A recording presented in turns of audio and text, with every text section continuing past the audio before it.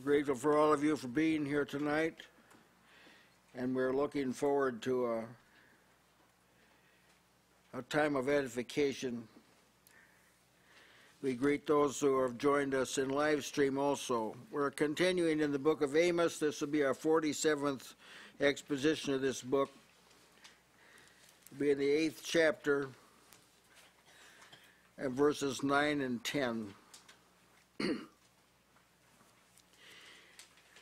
Now, there are some things about God that we are having confirmed to our hearts that are necessary to know. Once you see them, it becomes very obvious. But sometimes it's amazing how these things have overlooked. We've overlooked them. The true God causes things to happen. Now, that's, that's something you'd never want to lose sight of Amen.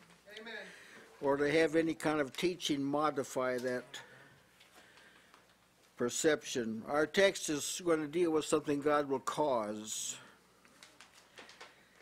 And this shouldn't be difficult for any of us to receive, but I'm not I'm not naive. I, I know we're in a spiritual environment where these things are almost abrasive uh, to some people, but there's a sense in which all things are of God. And that of him and through him and to him are all things. These are these are affirmations in scripture. I understand that some people don't know how to handle this, but that's what we're that's what we're working on. Is to not only know the truth, but to know how to handle it and uh, what to do with it rightly dividing the word of truth, or as some versions rightly read, handling the right. See, that's that's the secret. That's what we're aiming. We're just not aiming at increasing our knowledge, mm-hmm. although that is something that has to happen, but how to handle it. That's that's the secret. If the larger and most significant things are all of God, and I think we can, then the lesser things have to be too. Because the control and management of the lesser things postulate or presume that there's control over the major things. I mean, that's, that's the kind of correlation that you've got to see. So if there's what looks like small things, or things that are uh, dependent on other things, and you wonder whether God will take time to enter into something like that. He's over everything, which includes the little thing, which includes the little things, what requires that He be over the higher things. At any rate, you can see what I'm I'm saying there. The larger things are the redemption, have to do with the redemption that's in Christ Jesus. That's the larger things. But because the redemption is in Christ Jesus is worked out in the world and in the domain of time, it requires that God be over the other things also. There's nothing that's not under his authoritative control. If, for example, God determines to bless a person or a people, there's no competing influence that can nullify that or modify it or abrogate it. But it's got to be seen. Now the question becomes for God's people, has he determined to bless us? See, that's that becomes a question. Because if he has, nothing can stop it. And of course, if he's determined to judge the people, that the same thing is same thing is true. Men prefer to think that man is a free moral agent who can shape his own destiny, and they're dogmatic about it. However, God is above all things and through all things.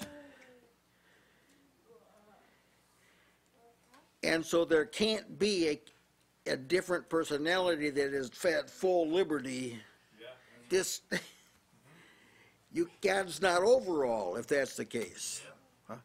If man is free to do what he wants, then God really isn't over him. Now, the free, there is such a thing as freedom, of course, but it's the Son who makes free.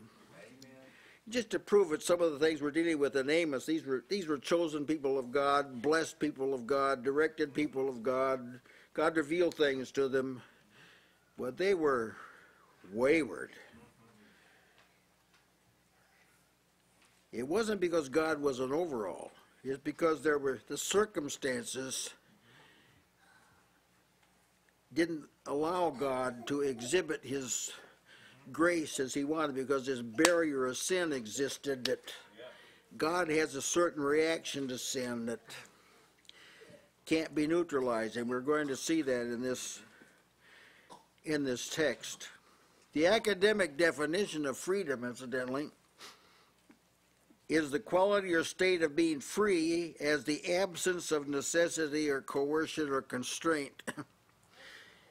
well, it should be clear that that is only true in Christ. Yeah, amen. And by nature, it's only true of God and, and Christ. Yeah, freedom in Christ and freedom under God is always freedom to do what's right. Yeah, Men are never, never, never free to do what's wrong. amen. If they do wrong, it's because they're in bondage, not because they're free. This is a fundamental teaching that has successfully been hidden. There's a, a debt that accompanies that departure too. Yeah. Yes. Mm-hmm. Which shows it's not free. Yes. Mm-hmm. God, man wasn't made to be independent, or he would be. And he would have to, that if you, he was dependent, he would have to deal with Satan on his own. See, if, he, if man is, is dependent and free, then he's responsible for overcoming Satan on his own. But see, the, he can't do that. Wasn't made to do it. The Definition of freedom requires somebody who's independent from all, from everybody. That's right. Mm-hmm. And in that sense, God would be the only truly free That's right. one. That's right. Mm-hmm. Only deity can really be by nature free. Everyone else is made free. If the Son shall make you free, you be free. I mean, it's plain when you see it. Now, God will not excuse people for for sin. There's forgiveness with God, but there's not excusing. Yeah. And so our text deals with something like this. Israel has uh, been indicted since the second chapter in verse 6. This indictment started way back in the second chapter in verse 6, and it's still going on. Verses uh, 9 and 10 of the 8th chapter. And it shall come to pass in that day, saith the Lord God, that I will cause the sun to go down at noon, and I will darken the earth in a clear in the clear day. And I will turn your feast into mourning, and all your songs into lamentation. And I will bring up sackcloth upon all loins, and baldness upon every head. And I will make it as the mourning of an only son, and the end thereof is a bitter day.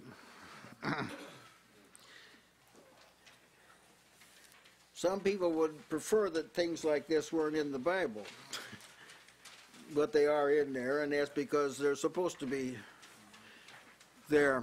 This is the further development of the words, Thus saith the Lord, for three transgressions of Israel, and for four I will not turn away the punishment thereof. See, he's still developing that. And it shall come to pass. I, I like the words. And it shall come to pass. Only God can speak like this. Man can say, I hope it comes to pass, or it may come to pass, or only God can say, it shall, it shall come to pass. Those words, it shall come to pass, occur 120 times in Scripture. 116 of them are found from Genesis through Zechariah. This is not the manner of New Covenant speech. It's going to take a while to sink in. uh, We just have to, you'll just have to search and see. This is how God talked before Christ. It shall come to pass. But once you come into an economy of faith, this is not the way God talks. God will develop it. Fresh thought to me, at any rate. These are the things that aren't going to come to pass. This isn't. This is not how God motivates those that live by faith. By saying this is going to come to pass. It shall come to pass in that in that day, a particular time something will take place at a determined time. That see, God doesn't speak that way. He tells you judgment's coming, the end of the world's coming, but not in that day. See, it, it doesn't talk that way. It doesn't specify seasons. Why? Because God's not primarily working in the earth now. He's working up, He is working in the earth, but primarily He's working in the heavenly places up here with His people. See, it's a different kind of, a different kind of situation. For the believer, this will be seen, a believer back then, this will be seen as uh, something that requires preparation. It shall come to pass. So that means I better, I better get ready for this. It's the words, it shall come to pass in that day. I found 23 times in Scripture, all of them between Isaiah and Zechariah. So this is the kind of language, is an introduction, a primer, to the certainty of what God determines. Now, by the time of the new covenant, this should be known. God shouldn't have to establish to the church that what he says is going to happen. This is not language that's required for people that are reconciled to God. This is not the kind of language that's used. People today, this this is the kind of we're dealing with a religious body of people. You got to talk this way, which means they're like more old covenant people than new covenant people. From Matthew through Revelation, the words "in that day" is only mentioned seven times. It's not woven in the the manner of teaching. See, by faith, you're living. You're actually living up there that, in that time. Faith transports you into another realm, and and you, you're not confined to time. Faith flies out of the time zone. So you don't have to. God doesn't have to talk this way. If He does, men are always in the flesh. They wouldn't have to hear language like that. Those who live by faith do not require this kind of language. Their lives are not governed by time. See, uh, the, the Israelites were governed by time. God didn't say, didn't speak to them about after time. Did he? If he did, it was very vague. Some of the prophets would like hint at it, but it wasn't. It wasn't as clear as it is now. They, but the Israelites being governed by time, it shall come to pass in that day. See, that's why he talked that way because that's where they, where they lived. It shall come to pass in that day, saith the Lord God. Now, actually, that, even that, the more faith you have, the less this has to be said. The more faith you have, you can pick up, this is the Lord. You can pick up on it. This doesn't have to be said. But when people are living aloof from God or are at distance from God, this has to be said. Saith the Lord God. This has to be said, see? Because people who are not living by faith are not conscious of God. like Israel was not conscious of God. That was their problem. They weren't conscious of God. So this saith the Lord God, boy, kind of a wake up, kind of a wake up call. The only proof that what is said is going to happen, the only proof is that God said it. That's the only proof there was. But that was enough proof. That's enough proof for a person has faith. That's a, that's enough. But for a person doesn't have faith, see, we got to have these. This will happen. That'll happen. This will happen. You will be cursed. Yeah, that all has to be spelled out because they're not. They don't have a consciousness of this. Now it's alarming to me that in our time, as a rule, very little is said, very little emphasis is placed on the Lord said, or God has said, or it is written. Very alarming that this is like almost strange language. Almost invariably, people who represent God resort to human reasoning and human logic to prove their point. This, this, thus saith the Lord, is not like an end to all controversy. See, people say, oh, where did he say it? Why did he say it? What did he mean when he said it? See, it's met with all kind of questions because people are not conscious of God. And I tell you, the more you live by faith, you just, there's a lot of things that you don't have to be told all the time. You can pick up on this, yeah, that's the Lord. When Eli told Samuel, he didn't know what God was going to say. He didn't know what was going to be said. But he could pick up on this is God saying this. So you, Samuel, you tell him to speak. See, he he he had an understanding of God. He could recognize when God when it was God that was talking. Moses, when he heard that voice in the bush, he knew who was talking. I'm telling you that a man in the United States would not have known who was talking. The average church member could not have stood before the burning bush and knew what was going on. Now, this is what it means now to be alienated from God. Some of these ancient prophets, they see things happen, say, that's the Lord. You don't hear that very often today. In fact, quite often we hear, that's not the Lord. So this kind of language is how God has to talk to people that are a distance from God. They don't have a now working knowledge of the scriptures today. They don't have a working knowledge of the scriptures, and so uh, you have to speak to them as to unreconciled people. well, God, what did you say? What you, will you say? Thus saith the Lord God, I will cause the sun to go down at noon. Now,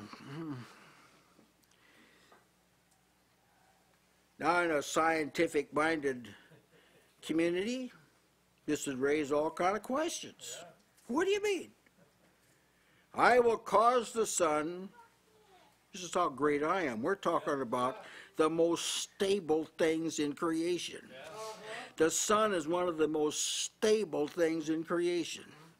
You can count on it to schedule your sleep. You can count on it to schedule your work. You can count on it for everything.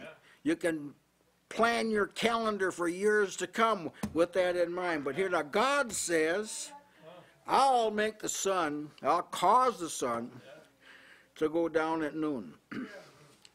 Other versions said, I'll make the sun go down at noon, or in the, or in the middle of the day.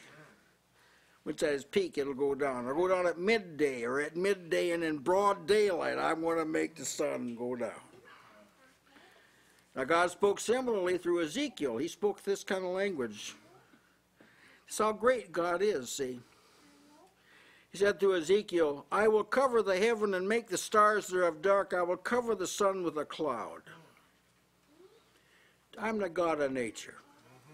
We're not talking about an eclipse here out, as everybody understands that. I'll make it go down at noon.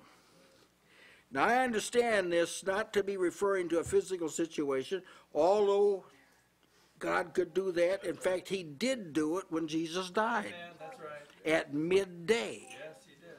the sun refused to shine, as the old spiritual says. I understand this to be a moral and spiritual condition. Cause the sun to go down, moral, spiritual light to disappear. So people will not know how to live. So they will not be able to understand. I'll make this happen. I'll make this happen. So people will be abysmally ignorant of right and wrong and not know how to live. I'll make this happen. Make the sun go down at noon. At a seeming peak of prosperity, see? when things are uh, seemingly bright, things are going well, the barns are filled, the feasts are well attended, we've got a lot of worship going on down there in Bethel. The prophets are received by the people. King is ruling well.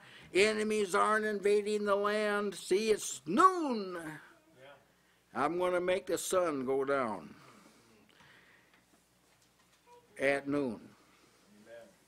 A sense of right and wrong will suddenly dissipate. And you will mar- people that have insight will marvel how? How did this happen? Why can't people see this? It seemed real plain to you. Yeah. But it, how did this happen? That God made the sun Yeah. go down at noon. The knowledge of God would dissipate to a small trickle, and very little will be known about him by very few people. The general state of spiritual stupidity would settle upon the people. Well, I tell you, you've got to be able to make the transition from what we're reading here to where we're living Yeah, amen. and when we're living. This is telling us what's happened in our society. It isn't because the government was lax. It isn't because people just didn't read their Bibles. God has made the sun go down at noon. He has rendered it impossible without some kind of divine intervention for people to even know what's right and wrong, let alone do what's right and wrong. Sun go down at noon. Things of God will become vague. The people won't understand the things of God. People, he, God had given His law to these people. He's given a prophets to the people. He given them feasts and festivals that He had promised to bless. And all of that, all of a sudden, meant nothing.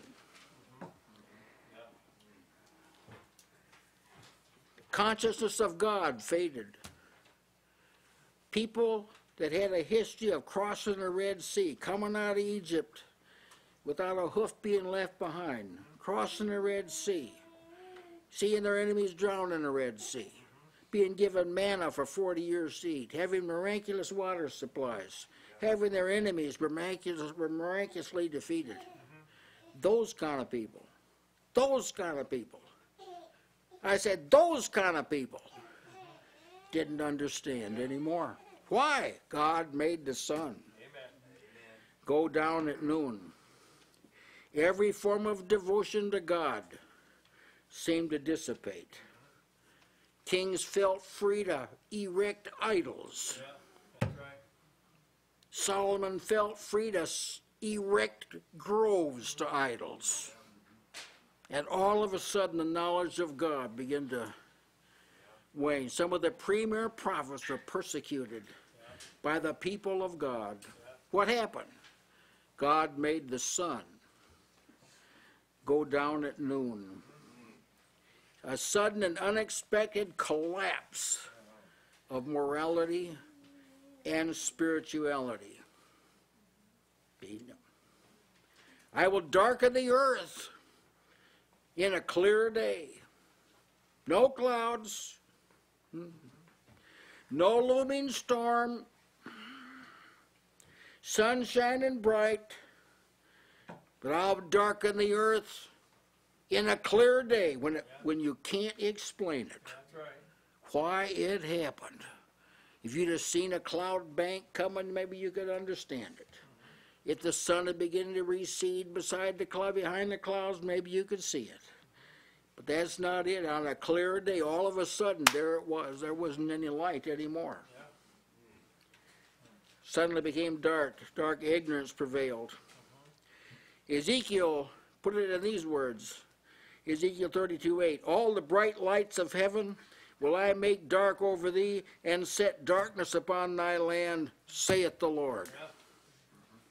Prophets will dry up, seers will dry up, interpreters of the law will dry up, people who understand the scripture will dry up.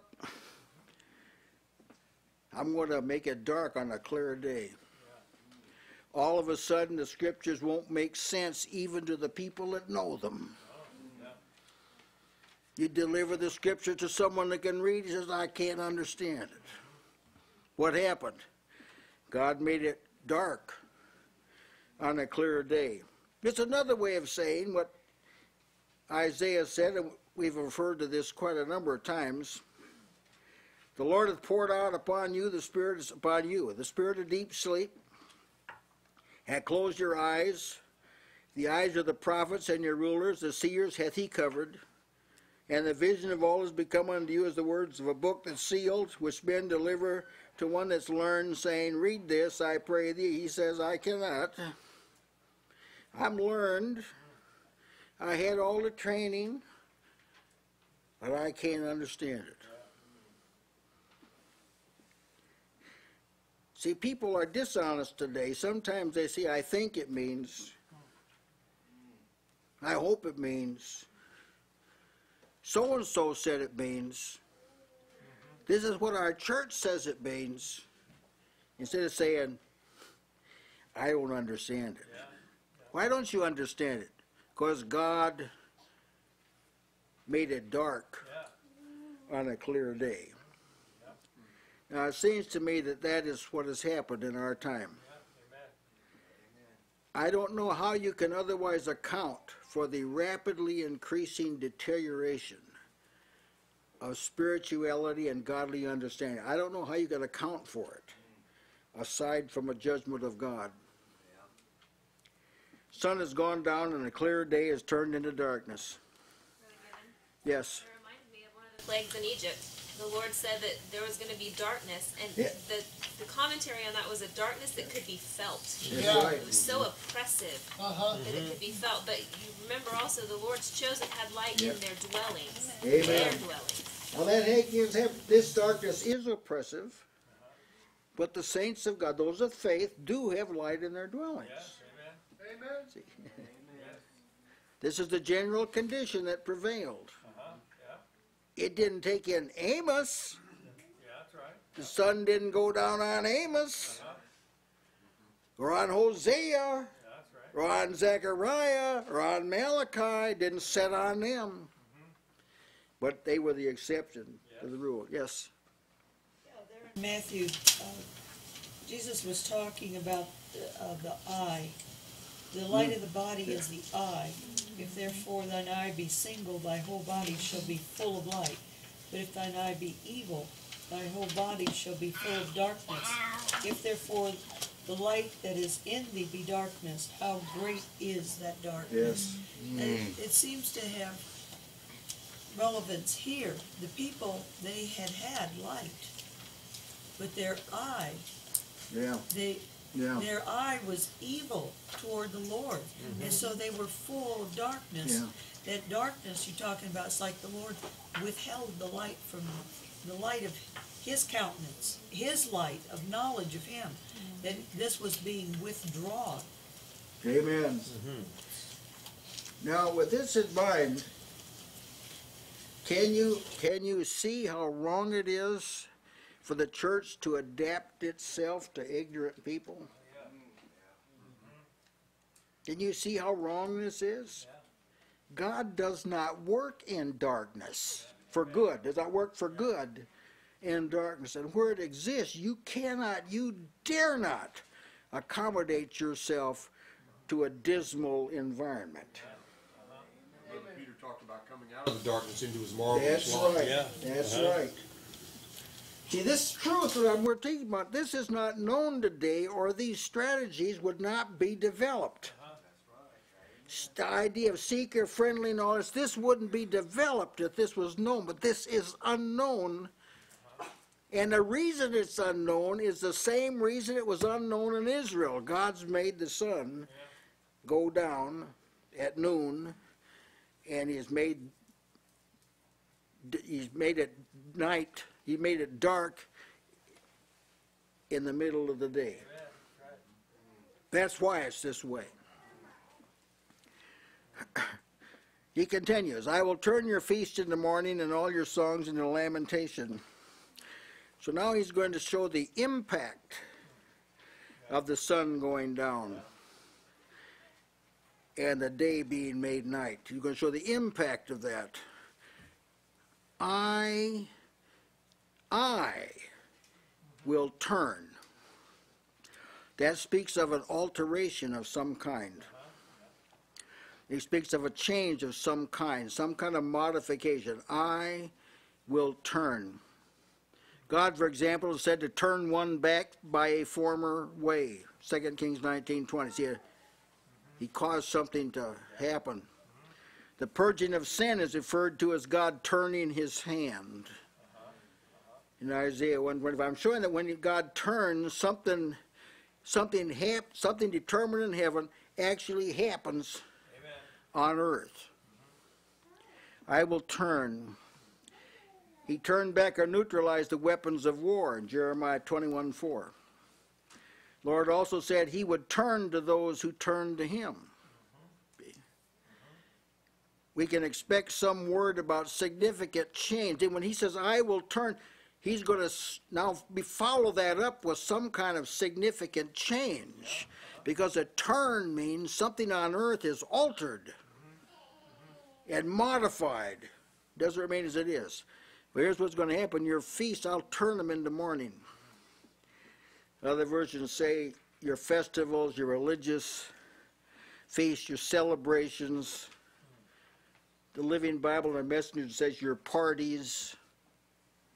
I mean, how dumb can you get? Your parties.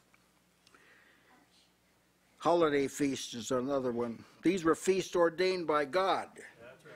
These weren't feasts that Israel instituted. It was feasts they corrupted, feasts that God ordained. Under the law, there was like the Feast of Unleavened Bread, the Feast of Harvest, the Feast of Weeks, the Feast of the Passover, the Feast of the Tabernacles.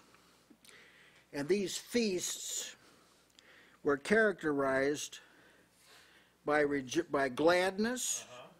Second Chronicles 30, verse 2, by rejoicing, Leviticus 23, 14, and by singing, Second Chronicles 30 and verse 21, to say they were a festive, happy, gladsome occasions that celebrated something God had Yes, done.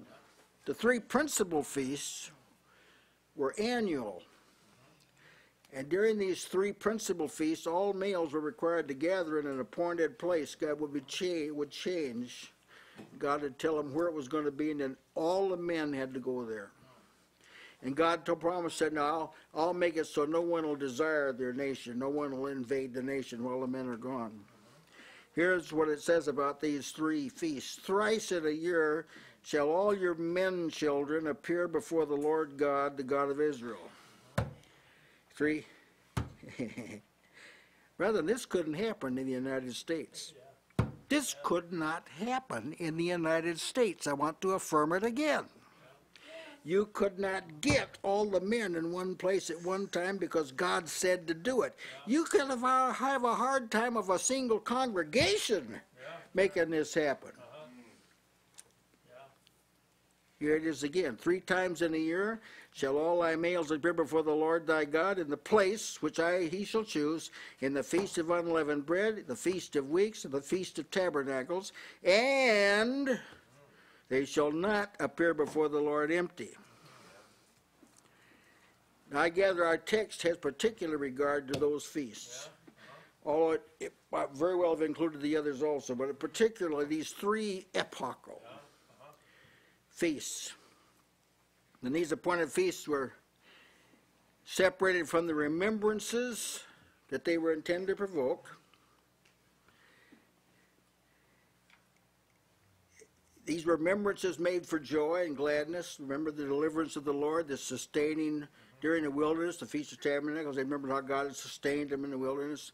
Passover, when he remembered how God delivered them from Egypt.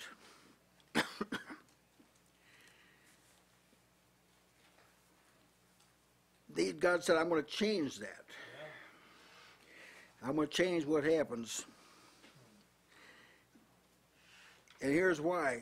You, profaned, you profaned the feasts. Let's listen to Malachi. He, he addressed this. These were appointed feasts, separated and separated from the remembrances that provoked joy and gladness. They became meaningless and burdensome. Oh no, we. Yeah, all the men have to go again to appointed place. Well, we got to do it because God said to do it, and that's we don't want to do it, but why do we have to do it? Now, here's what Malachi said about it. Ye have profaned in that ye say, The table of the Lord is polluted, the fruit thereof, even his meat is contemptible. Ye said also, Behold, what a weariness it is. I mean, twice a day? Come on. Hmm? You think people don't think like this today? Do we really have to? How many times do we have to go? How many times, Lord, do we have to gather? Is it one time a year enough? It disrupts the family, ah, interferes with our work. People think like this today. And God is just as sensitive about it. In fact, He's more sensitive because now we're talking about an economy that's under Jesus Christ. See, they went through the ordained routine mechanically, but their heart wasn't in it. Their singing was feigned and pretentious. May have sounded good and acceptable to the ears of men, but it wasn't acceptable to God. The idea is not that the Israelites, he says, I'm going to turn your feasts, I'm going to turn them into mourning. The idea isn't they'll keep on keeping the feasts, but they'll they'll mourn during the keeping of it. That's not what the text means. The idea is they were going to go into captivity, and when the time to keep the feasts rolled around, they wouldn't be able to keep them.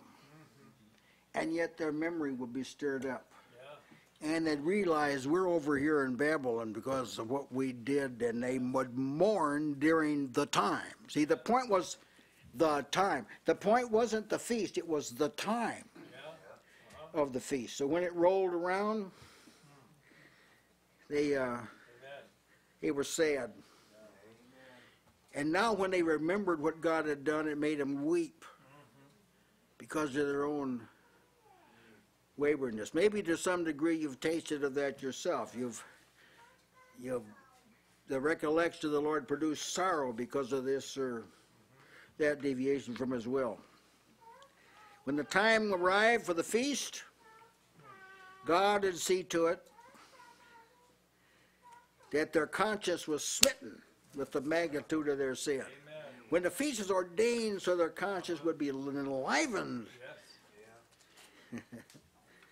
You want to be able to apply that to the Lord's table, too. And all your songs into lamentation. In captivity, they wouldn't be able to sing a happy song. They'd,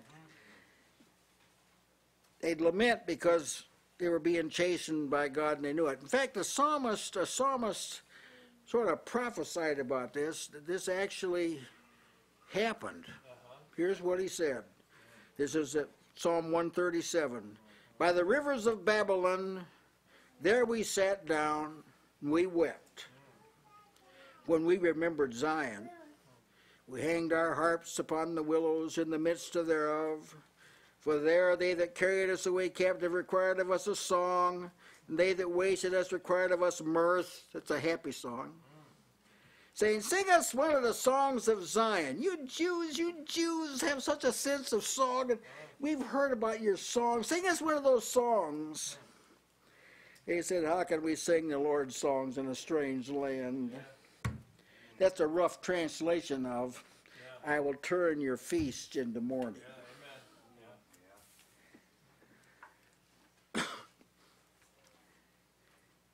A season ordained for gladness became a time of grief. Even Jeremiah the prophet joined in the lamentation, penning his book, The Lamentations. That's what he was doing. He was lamenting what had happened. Now, I would like to say a brief word about our time. I've noticed in our time that a different kind of singing has been introduced to the church. Where people enter into it, it really is more noisy than melodious. The droning tone of many of these songs sound more like lamentation. If you listen to it, now if you listen, you'll find a like a lamenting tone. There's not a happy tone. It's a it's a like a it has a tune of a lamentation. They're not joyous songs. And some people jump up and down, but it's not for joy. Not because they see something. Extended exposure to these things it will irritate the soul. If I'm exposed to this a lot, it like agitates me. Even if you wrote the words down, some of the words are pretty well, they're not really, none of them are really good, outstanding words. They're like acceptable, you know. It, this is acceptable maybe for the children. But the whole thing is that i- it's an irritant to the soul. It doesn't make for joy at all. If you don't know what I'm talking about, you just have to wait, and pretty soon you will. The, edifici- the, the edification quotient is almost totally absent. And the words that are lisped with supposed looks, there's a certain look. Oh, it- and it, it's not even a look of joy. Even the look isn't a, uh, kind of a lamenting sort of a look. And the musicians, they've got a look, and sometimes it's frowning, and but it's not. It's not joyful. And the whole display is dubbed worship. Uh-huh. Someone said, Well, I don't think we should be too critical. They mean well. That's the very thing I'm questioning. Uh-huh. I'm questioning that they mean well. I'm questioning that they even know enough to mean well. I'm saying if they knew God like they should know Him, they'd be afraid to conduct themselves like they are. What's happened? Well, this is my opinion. God's made the sun go down at noon. Made it dark during the day. And the joy of faith, that's a phrase found in Philippians 1.25, the joy of faith uh-huh. has become exceedingly rare. Now this judgment is going to be personal. It'll be on a people, but to each individual. It'll be individualized too. I will bring up sackcloth upon all loins, baldness upon every head. I will make it as the mourning of an only son, and the end thereof shall be bitter. Now I'm sure that you've noticed that in this, just in these two verses, that throughout the passage God speaks of what He will do. I will cause, I will darken, I will turn, I will bring up, I will make. See, these aren't things that like will just happen. These are caused. God's going to cause these. Now, I maintain that when these conditions exist in a professed Christian community, that God has caused that. amen. And it's not for blessing. No. He's made the people's religion basically miserable. Uh-huh. Yeah. Yeah. The sun went down. That's, what- happens when the sun goes down. That's what happens. It is wearisome. See, it's tedious.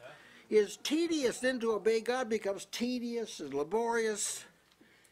That's something God has caused. I will bring up sackcloth. I will bring up. I just some versions say, I will make all of you like wear sackcloth. I'll make you do it. I'll make the people do it. I'll make you all do it. I will put sackcloth on you. I will cover you with sackcloth. You will wear sackcloth, and I will cause sackcloth. See, this, this is God. sackcloth upon all loins, that's something to which Isaiah referred.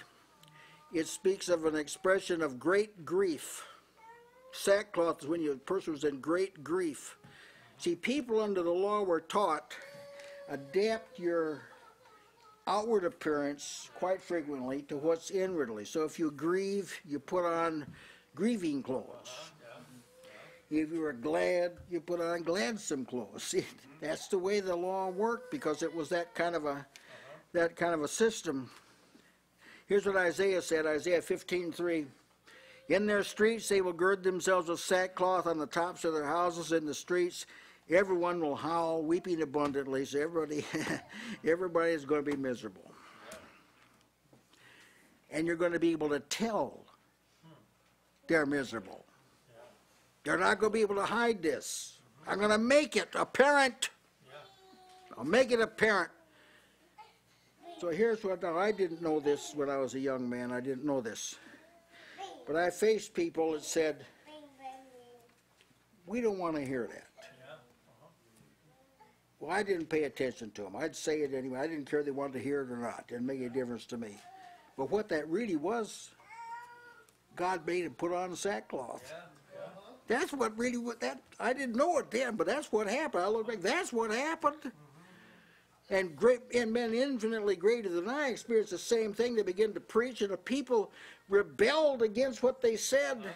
It was miserable for them. What God made them put on sackcloth. He made it apparent they didn't want to obey God. Now all of a sudden it became apparent. I'm going to make them put on sackcloth.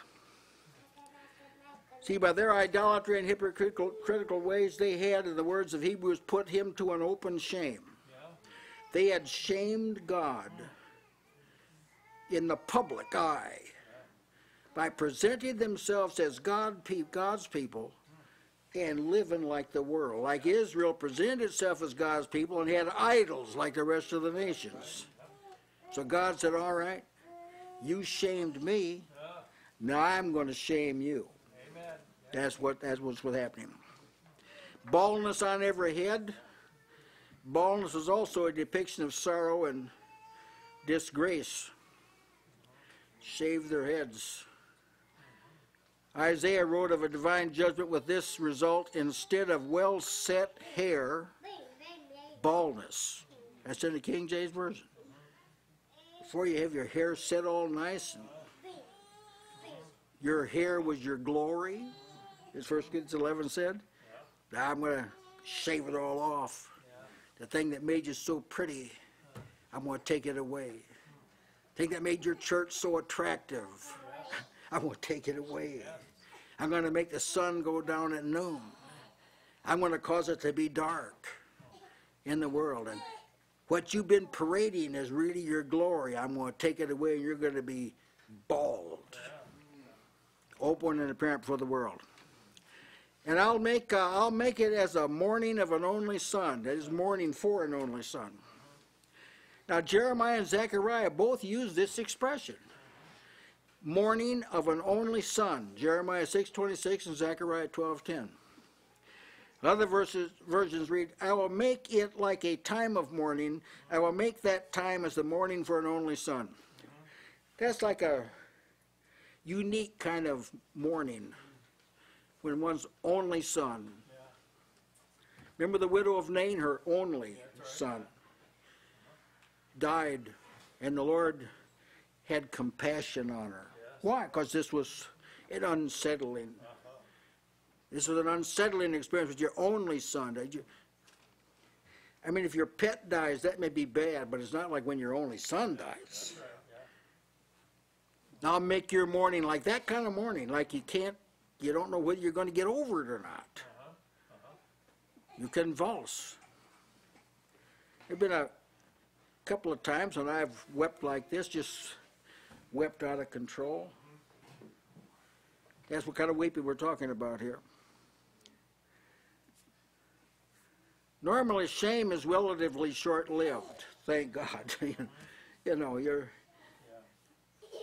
your mate or your child dies and you lament, but in relatively short time, you kind of gain your regain your composure and your. But Israel wasn't going to do that.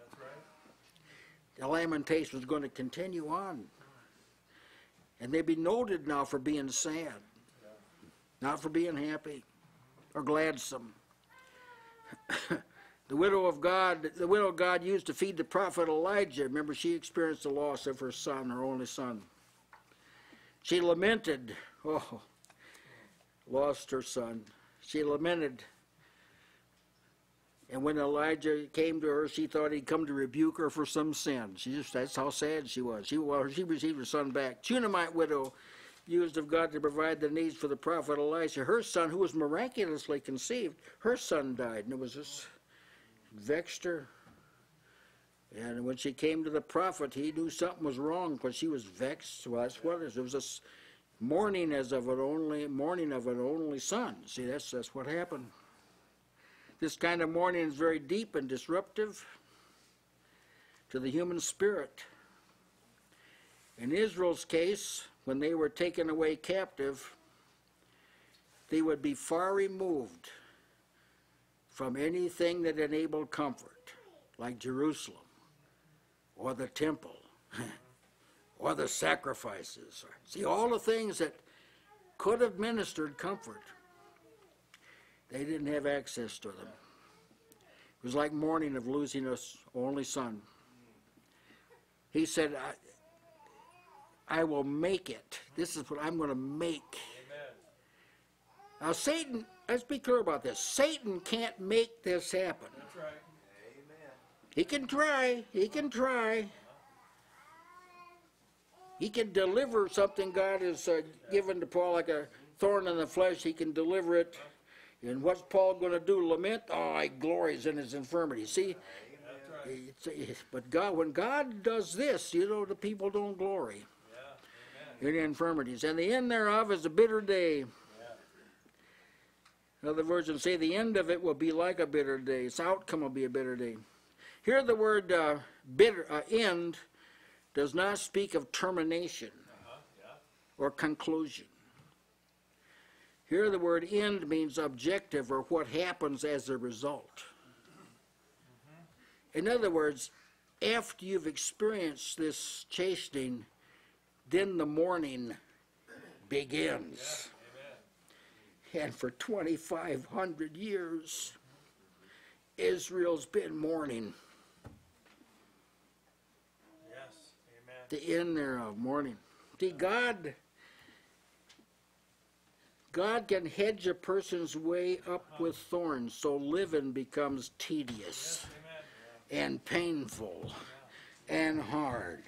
And you're jumping from the pan into the fire all the time, and everything's getting worse, and nothing's working out. And why is all this happening? It's, it's hedged up the way with horn, thorns. The end thereof, the objective, be like one big, long, bitter day.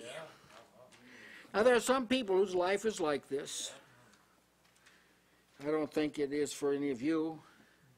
You will have some of these experiences, but it's it's interspersed with comfort see, from the Lord. But Israel didn't have those interspersements of comfort.